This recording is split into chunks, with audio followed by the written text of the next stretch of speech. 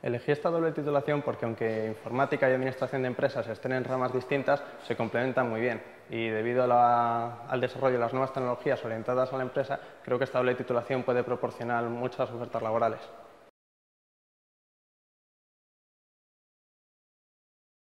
Se trata de una titulación pionera en España que ofrece al alumno dos titulaciones en solo cinco cursos y medio. Por un lado, la titulación de graduado en Administración y Dirección de Empresas. Esta titulación permite al alumno poder gestionar y administrar organizaciones. Por otro lado, el título de graduado en Ingeniería Informática proporciona conocimientos sobre nuevas tecnologías que pueden mejorar la productividad de las organizaciones.